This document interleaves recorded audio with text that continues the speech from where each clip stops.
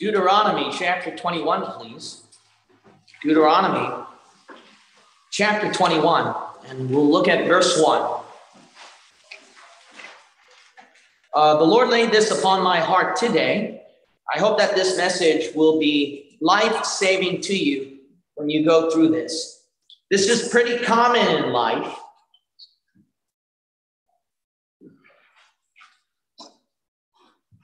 We are going to see what the Lord does when things go down, what he words it a rough valley. A rough valley. It is inevitable in anybody's life. There is a rough valley, small, big, it doesn't matter, but there's something. It could even be something that you think is so petty as doing, trying to get some sort of passing grade in an exam or in a school class.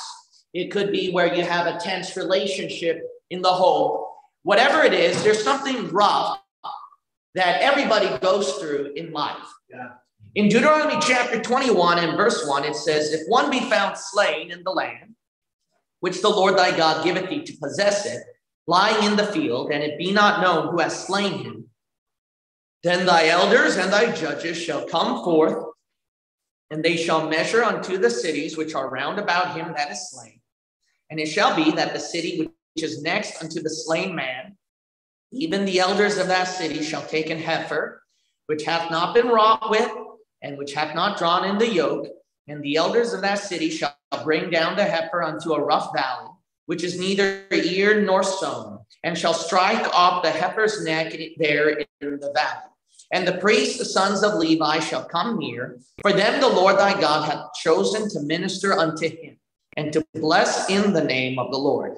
And by their word shall every controversy and every stroke be tried. And all the elders of that city that are next unto the slain man shall wash their hands over the heifer that is beheaded in the valley. And they shall answer and say, Our hands have not shed this blood, neither have our eyes seen it.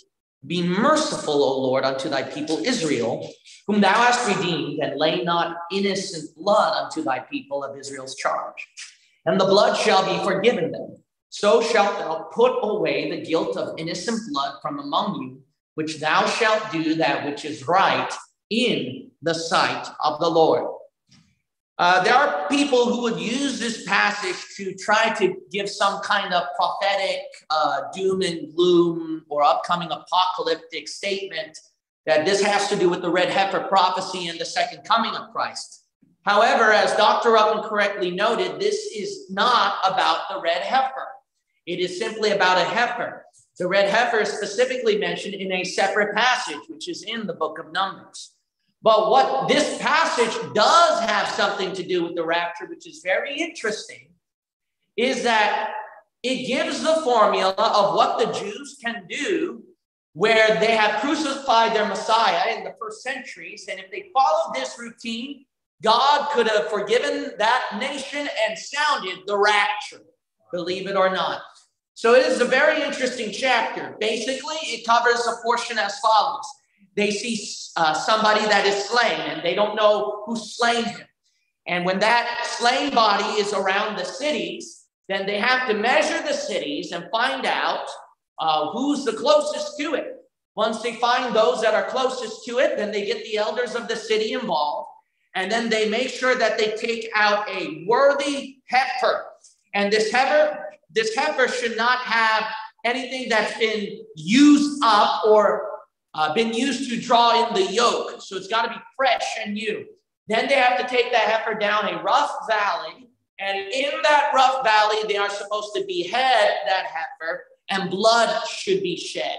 And then the elders of the city are supposed to wash their hands over that dead heifer and proclaim that the dead body that they found, not the red heifer, but the dead body that they originally found, that hey, our hands are clean. We have not shed this blood over that uh, person who just died. So then that heifer is basically like that atonement and that substitute over that dead body. Then they erase the guilt and the sin away from their nation. As I look at this passage, it has a lot of interesting connections on what happens in a rough valley. I've explained to you the whole ordeal, but we will go verse by verse and examine each thing about what happens in a rough valley that might be very helpful to you. The Christian life, when we go through our down moments, it is described as a valley. And I would like to talk about how rough that valley is that could be helpful to you. The title of my message is Rough Valley, Dead Ahead. Let's pray. Now, Father, as these people have prayed, and I'm going to pray myself, is that you'll fill within me the power of your spirit and the cleansing of your blood. You've never failed all this time, and you can use me again to preach for you. Will you please speak to these people, Father? Make this message help them in any rough moment they go through in life. In Jesus' name I pray. Amen. Uh, my first point is what happened in the rough valley what happened in the rough valley. If you look at verse 1, if one be found slain in the land, which the Lord thy God giveth thee to possess it, lying in the field, and it be not known who hath slain him. What happened? You'll notice that in the rough valley, that they're about to take the heifer and behead it. Beforehand, there should be a dead body. And when there's a dead body, they don't know what happened. And a lot of times you have to realize that rough valleys, the reason why they're dead ahead of you is because of something died, of something that died in your life. And when something died in your life, let me tell you something. It's literally what happened. There is no answer, there's no explanation. And I want to tell you something rough valleys in your life are not your fault. Let me repeat again. There are rough valleys in your life that are not your fault. True sin has consequence. True, there could be some bad things that happen because of your sin. But let's be honest, not every rough valley we go through is because of our. It could be true that God sends a trial along the way or a test along the way. And it could be at other times the devil just attacking you because you just made him upset. We can give all kinds of explanations, but let's be honest. When we go through rough valleys in life, there is not an explanation sometimes, if not most of the times. You can figure it out. You can rack your brain. It's because of my sin. It's because God's trying to do something better out of my life. It's because I'm going through a trial. God's testing me, or the devil. I made the devil mad at me about something today. You can rack your brain all you want, but we're just going to come down to the point what happened? That's what you're going to end up in. What happened? And you will never figure it out. And God, notice in this passage, God does not satisfy the curiosity. He knows who murdered, He knows what happened to the dead body. I mean, couldn't the elders just ask, What happened here, Lord? We'll slay that murderer. But God says, No, I decide not to do that. Sometimes there are just things in life that you're not going to know. And you're going to wonder what happened. Yeah. You have to understand that the flesh is always unpredictable and it is very unstable. When the flesh is so unpredictable and unstable, you're just going to have a rough moment, even if you have a good day. Didn't you know that? Didn't you know that you can even go through a rough valley when there is no rough valley? What do I mean by that? There's nothing really bad that happens in your life. Everything's good. There is no rough valley. But then your flesh is so unpredictable, it's so unstable that all of a sudden it could just feel bad if it wants to. It's such a it's such an unpredictable, unstable thing. And you're just gonna have to admit that I'm gonna go through rough valleys, even if there are no rough valleys. Haven't you been like really soldier enough and man enough as a Christian and yeah, it's because it's your fault and it's because, you know, it's just your flesh and you just got to get over those feelings and you just got to march on for Jesus Christ. Well, that's fine and dandy. And I'm not uh, downing you for thinking like that. I think like that. I believe we should endure. I believe we should be soldier enough. I believe that we shouldn't be nitpicking and create our own bad moments. But let's just be honest. Flesh is so much the flesh. It is always the flesh. It is so weak that it's just going to sporadically come out, even though no matter how much you mentally prepare for it. Rough valleys happen. It's not just situations unexpectedly happen. that you're going to get rough valleys. It's even your flesh. Your flesh will just feel like it's going through a rough valley, even if you're having a good day, even if nothing bad happens. A lot of times we just don't know why. Uh, look at verse 2. My second point is whereabouts in the rough valley. Whereabouts in the rough valley. The Bible says, Then thy elders and thy judges shall come forth, and they shall measure unto the cities which are round about him that is slain.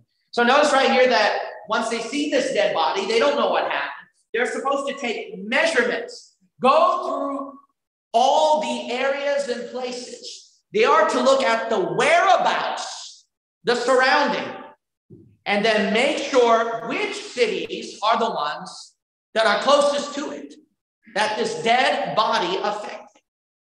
The Lord sees that when something dies in your life, and we live in a sin cursed world and everything dies, that it can pollute the surroundings and the whereabouts.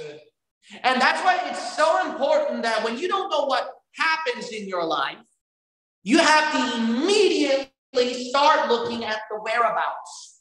You have to look at your surroundings and see where that dead thing is affecting. Something died inside you and you can't explain it, but you do know one thing it's affecting certain whereabouts. Yeah. It's affecting your heart, it's affecting how you see things, it's affecting how you're thinking things, it's even affecting your belief, what you believe in. And that's why your faith shakes up. So you need to see the whereabouts of where that dead thing is affecting. It's my eyes, so I got to be careful with my, my eyes. It's my heart, I got to be careful with my heart. Could be you wake up with a bad mood and there's no explanation for it, but you do know one thing your mood is affected by that dead thing. And then once you know the specific whereabout that is affected, you stay on guard. But a lot of times when something dies inside us, we're so busy trying to figure out why, why, why, why, why, rather than looking at the whereabouts, rather than looking in the area that the dead thing is affecting. If you were to look at the dead thing that is affecting your particular area, then you would go, okay, I got to watch out what I say.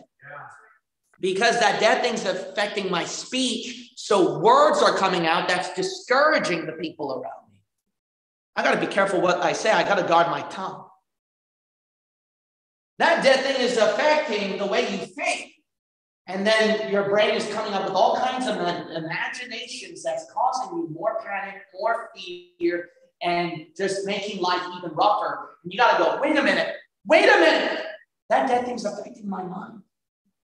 I got to get my mind off of that. You got to find out the areas that's affecting. It could be your darkest fear as well. Sometimes rough valleys in your life, what they do is they find those areas, those whereabouts. And that dead thing will find that whereabout and then go inside the unconscious or the subconscious mindset and find that darkest fear and get it out. What you need to do is you need to discover that too. If that dead thing discovers it and pulls it up for you, without you knowing it, you'll never find that area to disinfect.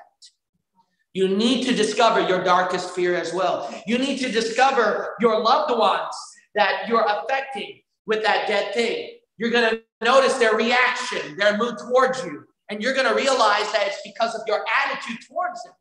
Why? Because that dead thing affected you where it now burdens your loved one.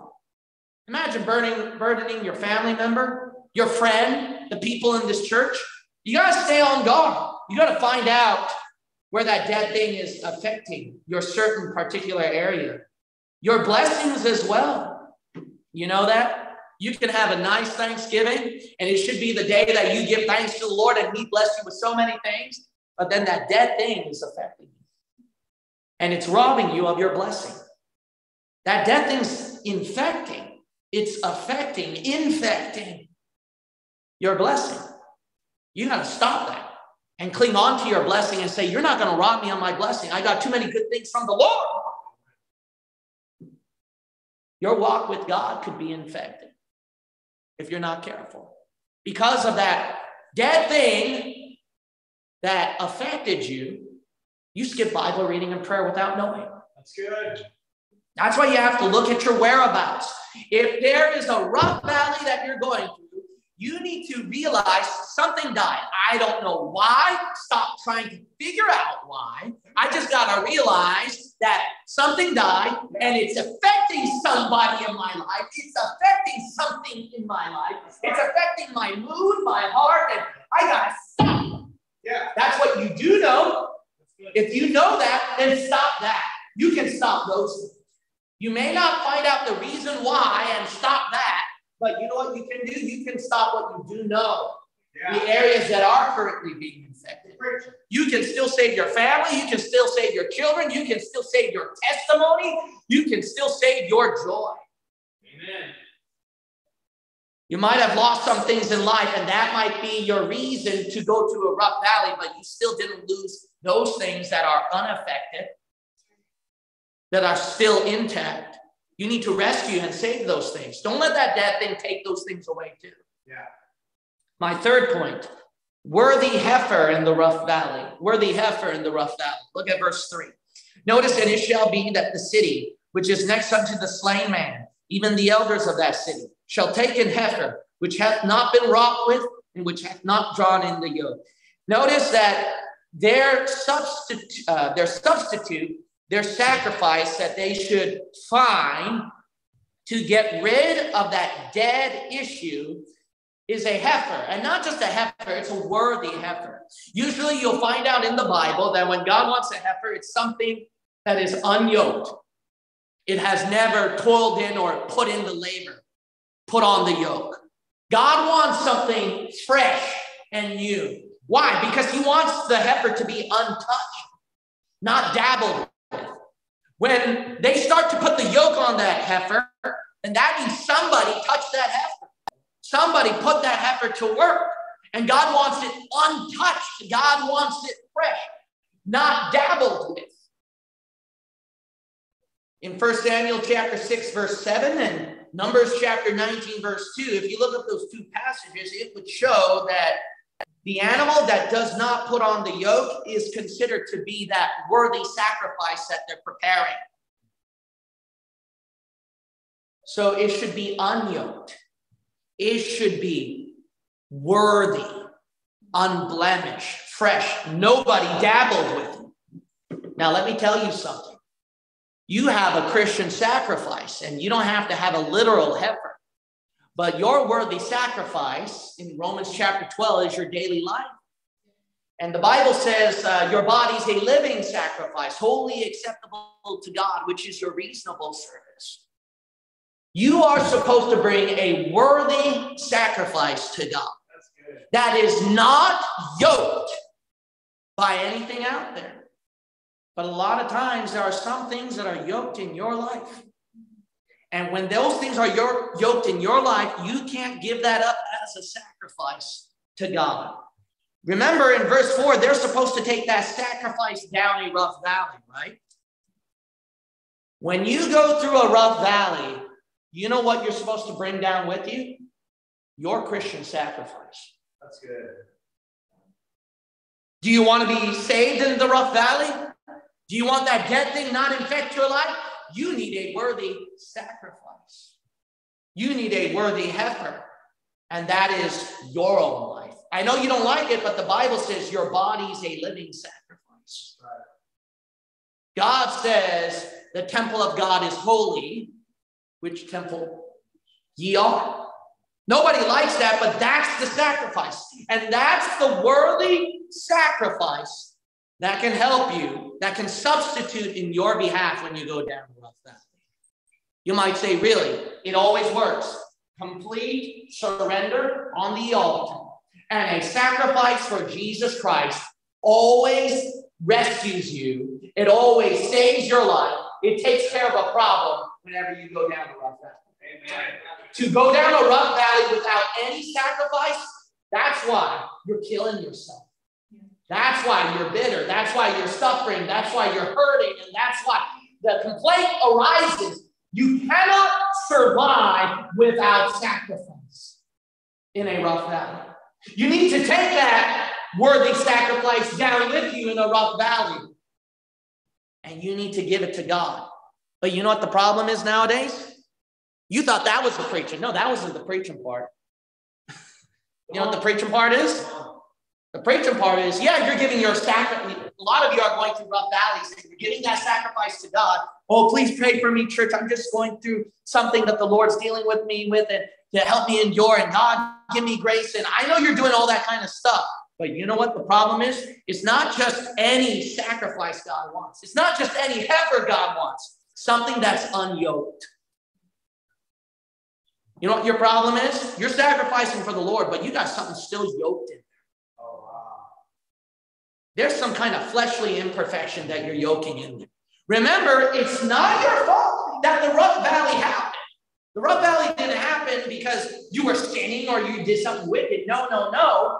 But the thing is, a lot of times, and actually not a lot of times, every time, every time when you go through a rough valley, you do have to sacrifice something for the Lord. And when you sacrifice something for the Lord, or you go through the sacrifice for the Lord, it has to be pure. Yeah. It has to be worthy. It has to be untangled. But if you tangle it with work, you tangle it with busyness, you tangle it with your hopes and dreams, you tangle it with some uh, pride that you didn't know about, some selfishness you didn't know about, something of me, me, me in there. And God says, when he's seeing that incense go up and that fire burning, that fire is purifying all that gunk out of there and then the true parts are being known. And then God says, You see that right there? In the middle of your sacrifice, God is showing you something, and you see it, or you're too blind to see it. During the middle of that sacrifice, in that rough valley, God's saying, You see that? What you need to let go, what you need to surrender. That's good. That was yoked up. You didn't know about it, but that was yoked up in your life, which is why this rough valley is being tough on you. That dead thing's affecting you. And then you go, You're right, God. And then God says, Okay, are you going to really sacrifice that then? Yes, Lord.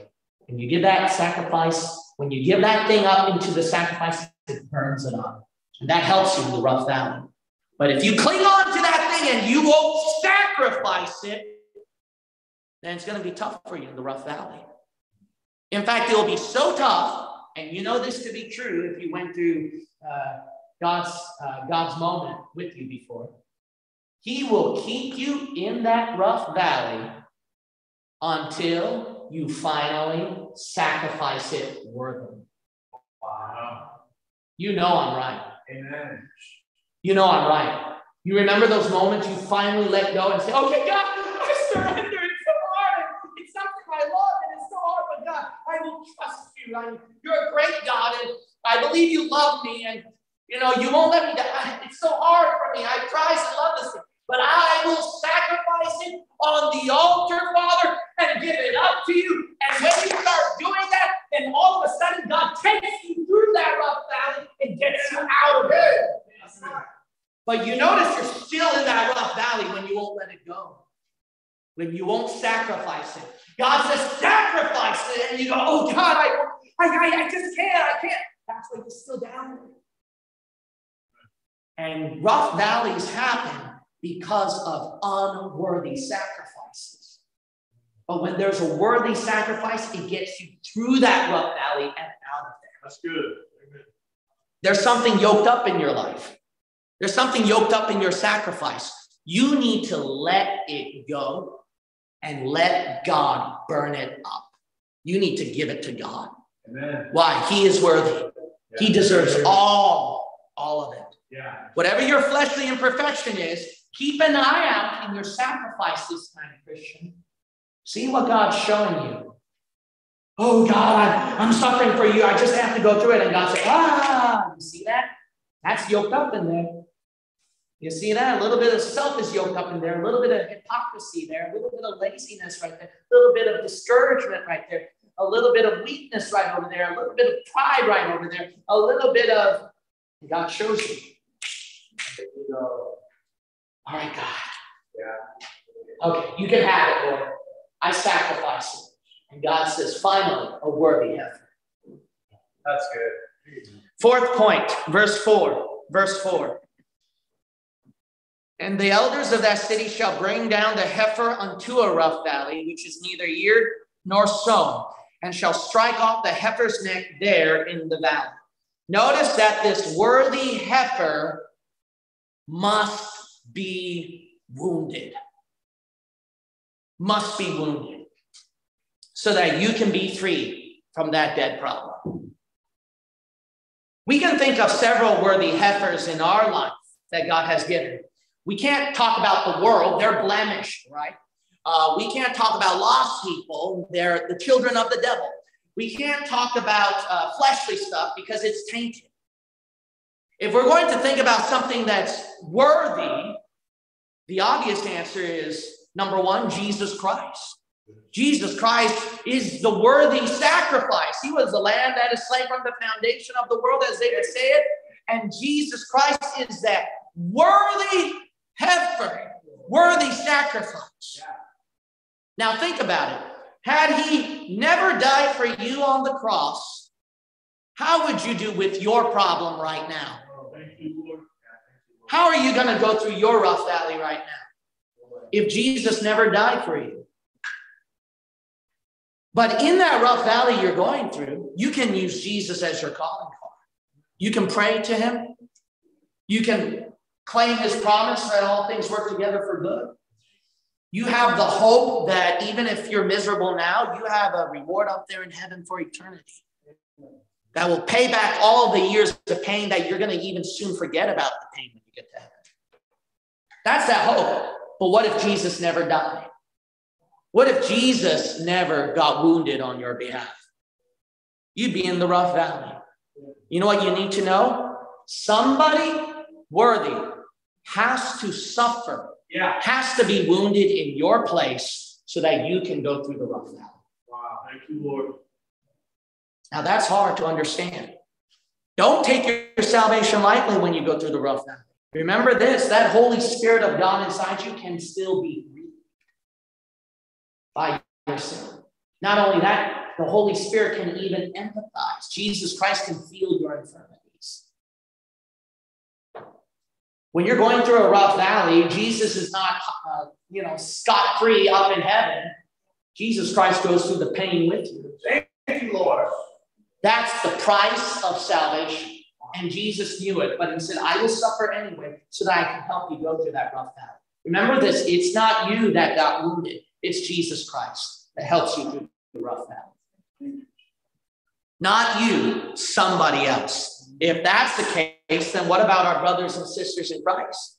Isn't the church of God, isn't the church of God something that is unblemished? And the church of God is bought with the precious blood of Jesus Christ? That's another worthy thing. Yeah. And guess what? You won't like this, but it's very true.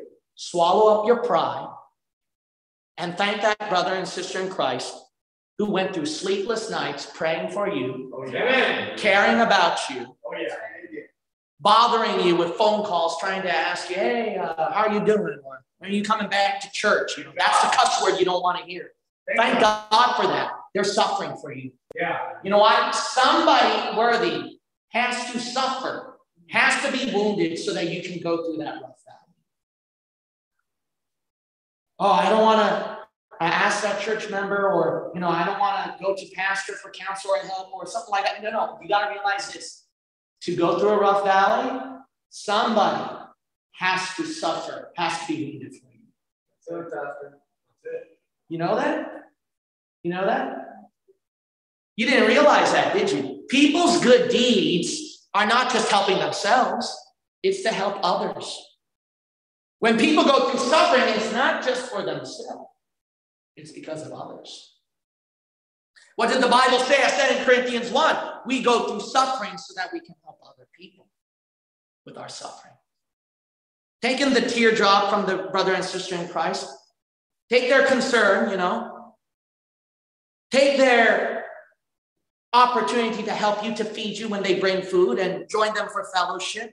When they open their doors and welcome you with open arms in church, don't reject that. No wonder you're going through a rough valley. You're not taking it in. You need to take it in.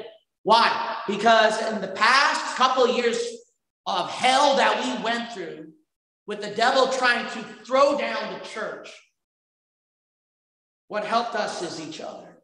Oh, yeah. Yes, your friend needs to be wounded for you. I know you don't want to see your friend get bashed in the head, but that friend's bashing his or her head for you. Wow. If you think that's wow enough, what about your family? Especially if it's a saved brother, a saved husband, a saved wife, a saved son, a saved daughter, a saved mother, a saved father.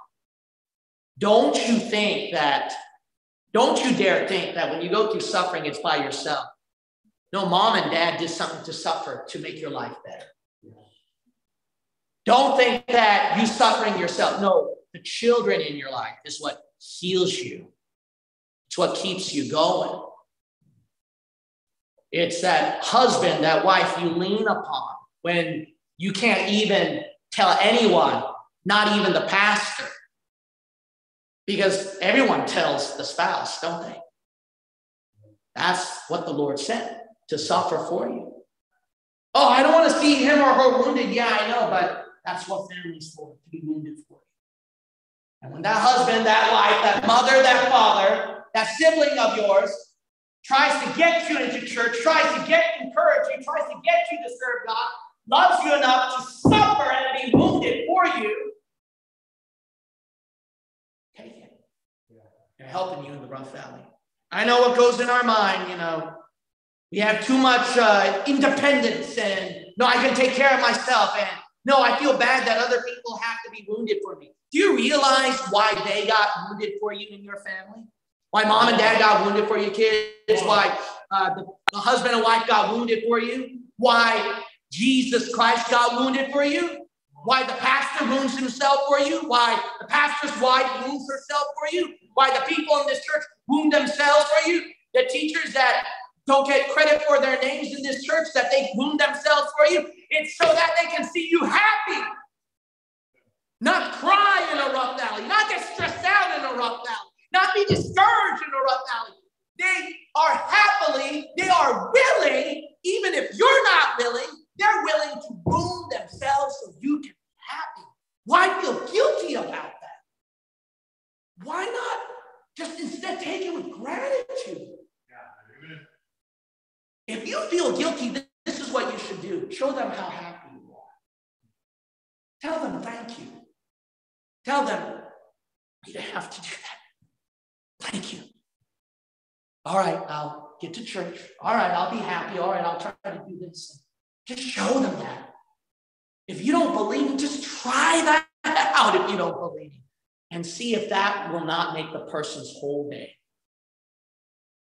How many times has this pastor just made his day and a person said, Thank you for the preaching? Makes my whole day. Oh, I just feel bad and he's just going through a lot. And no, no, no, no. Why do you think I even take this job to begin with? To see you happy.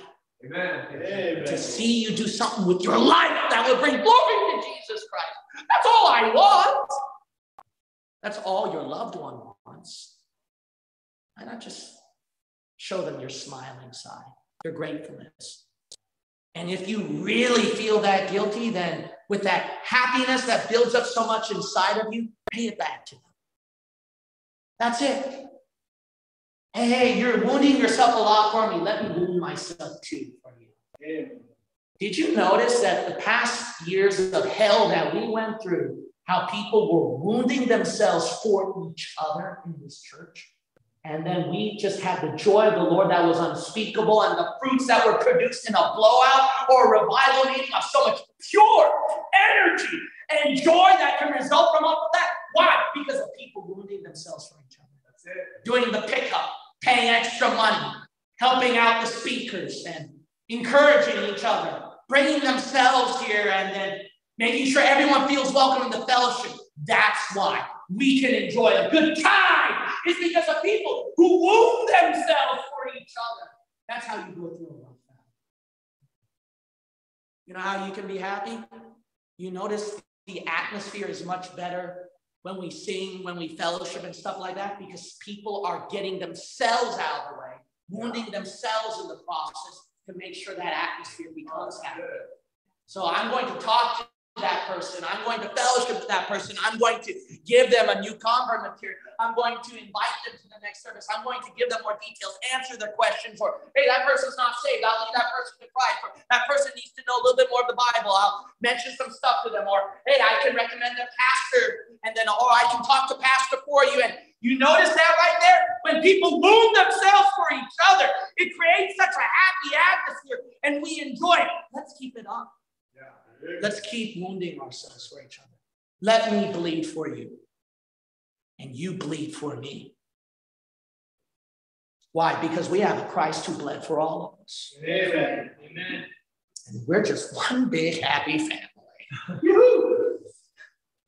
Let's make it even more so. Why? Wounds help. Wounds do help during rough valleys that are unexplainable. Fifth point watchers in the rough valley. Watchers in the rough valley. If we look at verse 5, and the priests, the sons of Levi, shall come near, for them the Lord thy God hath chosen to minister unto him, and to bless in the name of the Lord.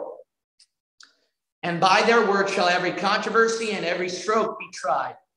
Notice that these priests, the ones God chose to minister to the people, they're watching for the city they're like watchers, protectors, guardians for the city. The Bible talks about the ministers as also people who watch for your souls at the book of Hebrews. In order to go through rough valleys, watchers are more than necessary than ever before. You'll notice right here, it's because of them shall every, their word and every controversy, every stroke be tried. Basically, you can see God's hand is on them that God's blessing is on them. If I were you, I want to be near that watcher of the Lord so I can squeeze out any ounce of blessing that might surround that watcher of God. Elisha surrounded himself with Elijah. He didn't care. He was just a foot washer for Elijah. He knew that he had something. He knew he had something real. He wanted to get that blessing from that man of God. As a matter of fact, he even knew that, hey, I want a double portion of what you got. So I'm going to stick close to your side all the way. Elisha knew the blessing, the power, God's hand behind his man. If you see the Spirit of God moving within a particular person, a man of God who's preaching his word, and the fruits and the surrounding power is all over him, you know what I would do if I were you? I'd surround myself that, immerse myself in that, grab a little portion of that. Because in a rough valley, I could use any blessing I could get. Yeah. You know what I had to do? I had to grab any blessing from any man of God out there. I'm not my own man of God. I had to seek, seek out other watchers in my life, take in their good advice, take even their rebukes, taken anything good from them, and it made me what I am today. And I have a compilation of the blessings of God because all of them were taken by multitude of watchers in my life. I my own blessing, grab my own thing. No, I need it from those watchers. Stick around a little longer, huh? Maybe if you stick around that watcher long enough, in the middle of the teachings you faithfully attend, there's going to be a couple nuggets out there oh, yeah. that will incredibly bless your life. Oh, yeah. Just even fellowshipping around the watcher, maybe he might just accidentally slip up in something that might have been a blessing and a help in your life. Surround that person whenever uh, he's available to help you or even just talk to you because that minister won't be around forever. That minister will be busy with something else. Surround yourself in any opportunity with the watcher that God has put in your life. And grab any blessing that you can get. Grab any blessing you can get. But when you're, I guarantee you this, you criticize the watcher, you distance yourself from the watcher, you get away from church where the watcher is at, wherever the watcher is at, you make sure you separate yourself far from that person. How miserable are those people? How miserable would I be? Think about it. If I isolated myself from fellow watchers in my life, you think I'd be very happy? Why do you think we can enjoy a blowout? There are fellow watchers Why do I let other watchers speak to you? They can give you some blessing. Why? Because it's not just you. I need it. I need to hear that watcher. I can't just hearing myself all the time. Good job, Gino. You're doing a good job. Don't worry. Don't be sad. How good of an encourager are you to yourself anyway? I need other watchers. People I know God's hand is on, God's blessing is on. And to hear their word of assurance in their atmosphere and just to be around them encourages me, strengthens me. Yes. My sixth point is washing in the rough valley. Washing in the rough valley. Go to verse six. And all the elders of that city that are next unto the slain man shall wash their hands over the heifer that is beheaded in the valley. You know, that's the sign that Pontius Pilate did when he washed his hand. I am innocent of the blood of this person. And what God wanted those elders to do is to do the same thing. Basically, I am innocent of the slain man. We have nothing to do with it. It's not our fault. And what they do is they, it's like as if it's picturing the washing that the problem is washed away off of them. It's not on them. Let me tell you something. What will help you immensely when you go through rough valleys and they are unexplainable and they cannot be attributed to your fault, to your sin, or you can't find an answer for it? God's trial on you, the devil's attack. You can't find an answer. You need to just realize it's not your fault. You need to realize look, I've already meditated, I prayed about it, I've surrendered it to the Lord, I've done everything I could. What more can I do now? If you repented under the blood, you're, you're forgiven, you're done. Yeah. Stop trying to figure out every other sin in the book. Wash it, wash your hands and say, I'm clean. But that problem is there. Let it wash off. It'll wash off. You need to let the problem wash away.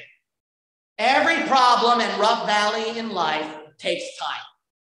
And it sticks onto you like guilt, and then it sticks to you like glue, and then you're just at fault. You need to have peace. It's not me. I'm not at fault here. I've done all that I could. I need to let it go, let the problem wash off. There's nothing you can do about it. You need to let the problem wash itself off. It's like a tide.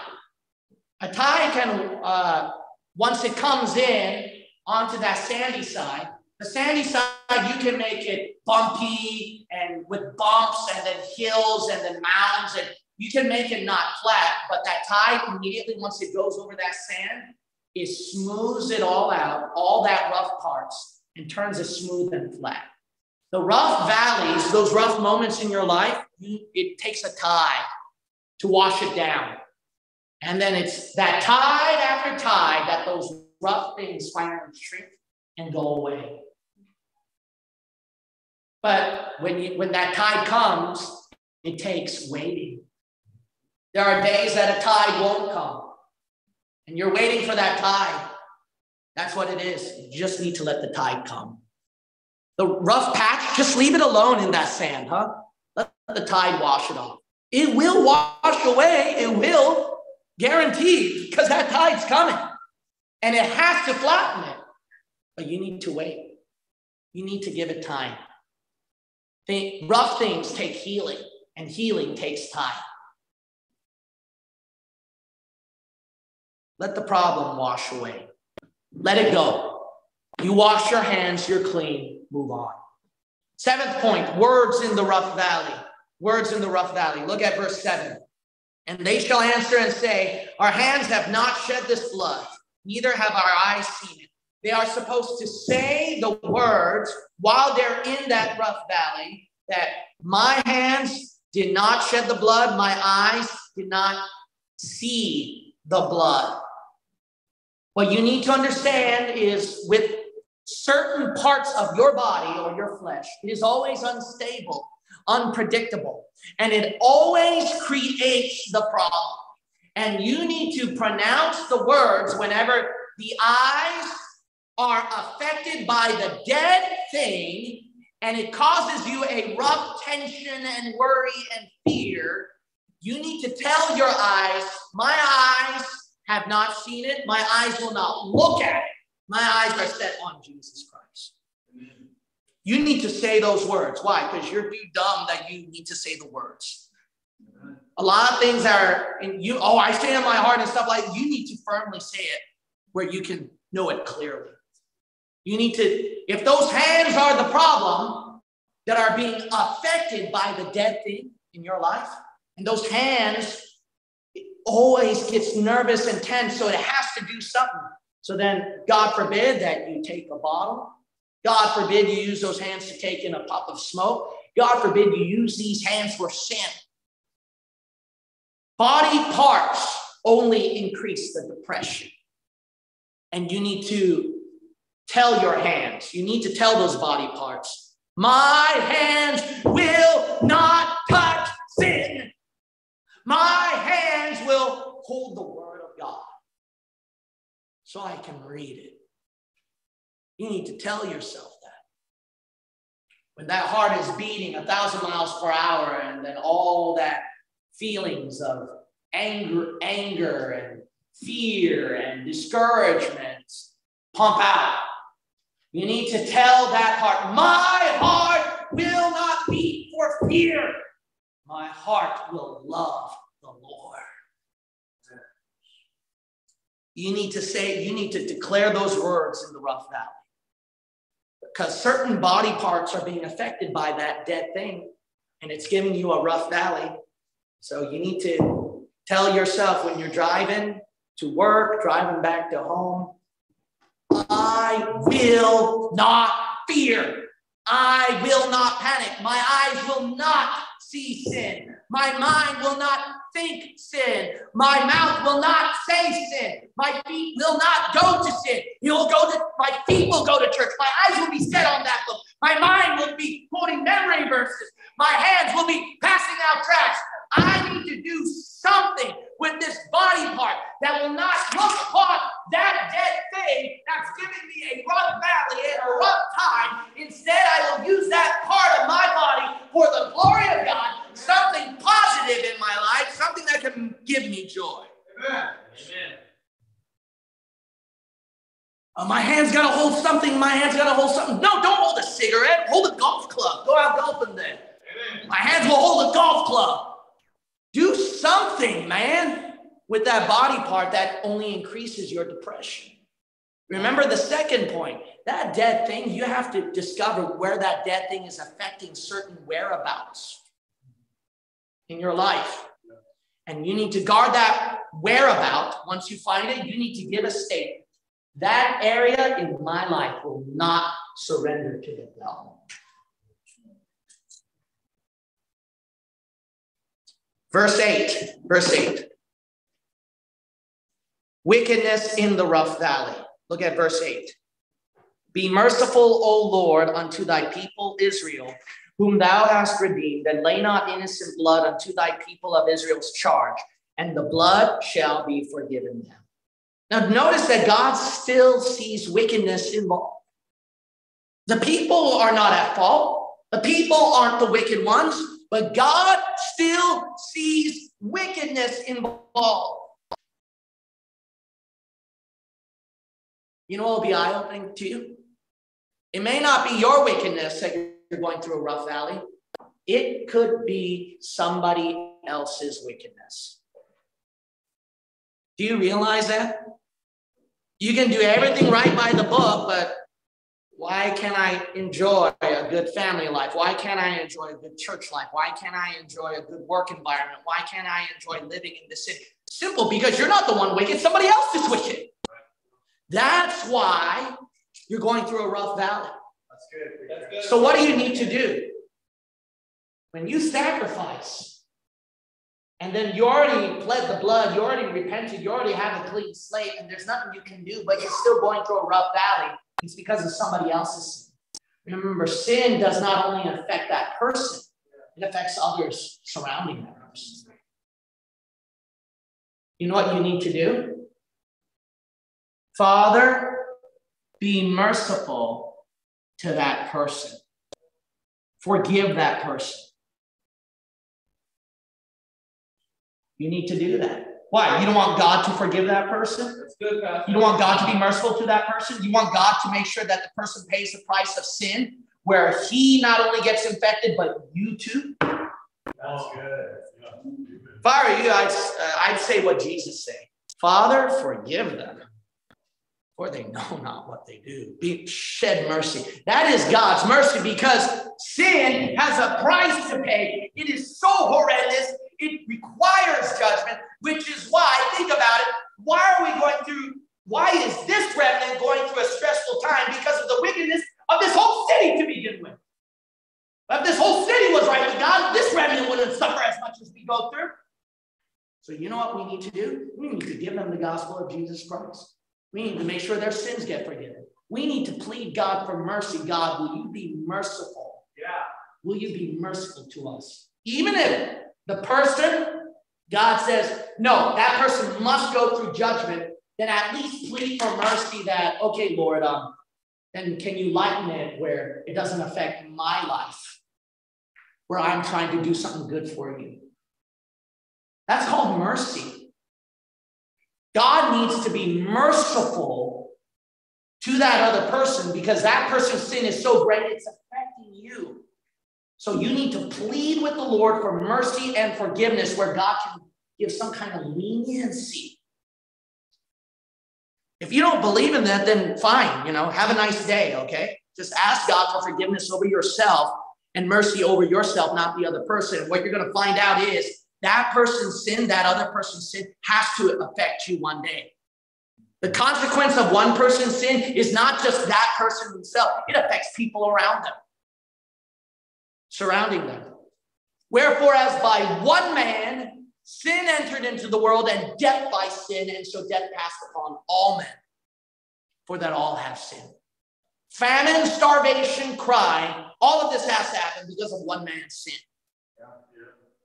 That's how horrible sin is. You know what Daniel, you know what the Old Testament prophets did? They weren't wicked. They weren't the ones that fought, but they said, Forgive us. Forgive us, O Lord. We have sinned against you. Be merciful to us. You need to start praying like that. Maybe that's why you're in the rough valley. You need to realize that when you wash your hands and you're not the one at fault, you got to say, Lord, forgive us. Amen. Good. Wipe out the wickedness of all of us, the other person, my family, my friend, the city, my boss, co-workers, and the school that I'm at. You need to pray like that. Amen. Verse 9, verse 9. So shalt thou put away the guilt of innocent blood from among you when thou shalt do that which is right in the sight of the Lord. My last point is worry in the rough valley. Worry in the rough valley. Notice that the, the people no longer have to worry because they've done that which was right in the sight of the Lord. They've done everything by the book, so they shouldn't worry anymore. People go through worse, rough valleys, and this is one of the worst things you can ever go through. When you go through wor- rough valleys, there is that worried guilt that remains. Even if you're not the one at fault, even if you uh, crossed out uh, all uh, crossed out all the issues in your life and you sacrificed on the altar, the devil always slips in a temptation and said you could have done better. The devil will slip in a temptation and say, well, you know, there's that other certain part that you didn't get right with God with. The devil will always do stuff like that, where you're going to have a clinging, worried guilt and because of that, that's why you can never get peace and you're still stuck in a rough valley. It's amazing. Uh, you know, I, am pretty sure at the judgment seat of Christ that when God judges you, there's going to be a lot of things that you messed up in that you didn't know about. And then God says, you know, see, you messed up right here. You should have, and you go, oh man, I didn't know about that. Oh man, I got to repent here, right? I, I, oh, why did, why, I was such a fool. I didn't see that. But you'd be surprised also at the judgment seat of Christ. There's going to be some things that, oh God, really messed up. And then all of a sudden you get more rewards than you thought.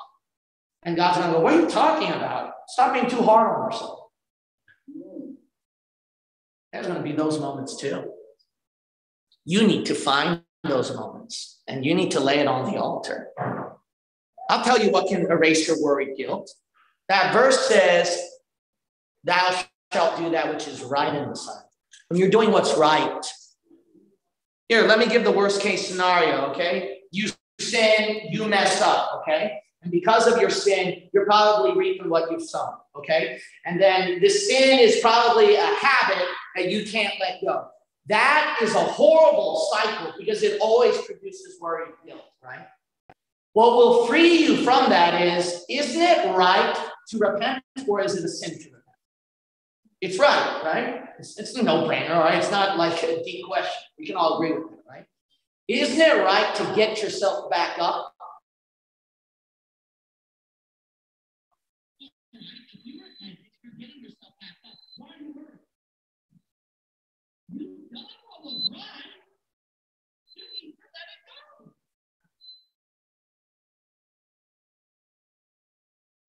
really uh, get right hard enough or no, no, no, no, no, no, no. If you repent, you're doing what's right. If you get back up, you're doing what's right. Why not just focus on that and that way you can get peace when you come back to church and serve God. Amen. But when you keep thinking about, I'm going to sin again, and I'm going to sin again, I'm going to mess up again. See, obviously, then you get worried guilt. But you don't get any worried guilt if you think about restoration, if you think about serving God, if you think about repentance, that God will forgive you if you confess it. That worried guilt is gone. Focus on what you're doing right, not what you're doing wrong. Yeah. You need to focus on what you're doing right. Amen. When you do that, you need to change that mentality. The mentality of that cycle that you're going through is not, I messed up again, I messed up again, I messed up again, but rather that I got myself back. I repented under the blood. It keeps you more at peace. That's how you can get yourself out in a rough valley. You need to get out of that rough valley by focusing on the things you're doing right for the Lord, not on the things that you're doing wrong. When you keep looking at that cycle, you keep digging deeper into the rough valley. Let me tell you something, man. If you already surrendered it under the blood, God will help you. God will give you grace. God will pull you through, even through the hardships in life. And some moments where He might have to chastise you, but His chastisement is to make you more holy, not more simple, not stuck in a trap and cycle. You need to let go and let God, and then finally get out of that rough valley. Huh? Get out of that rough valley. There's a rough valley dead ahead of you.